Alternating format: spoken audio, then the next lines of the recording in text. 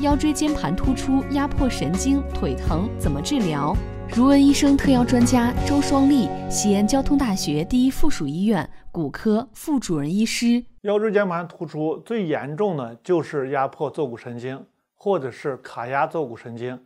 如果说椎间盘突出压迫的比较轻，也就是说对坐骨神经的功能影响比较小，就是说的腿疼，它行走或者是腿疼影响睡眠，就是达到。三级以上的疼痛的话，这个就达到严重程度，呃，严重的时候呢，就要进一步的检查。如果卡压坐骨神经，就要进行手术治疗；如果没有达到这种程度，就可以非手术治疗，用药物或者理疗、功能锻炼等康复治疗就可以恢复。椎间盘突出的疾病呢，百分之八十的非手术治疗效果都非常好。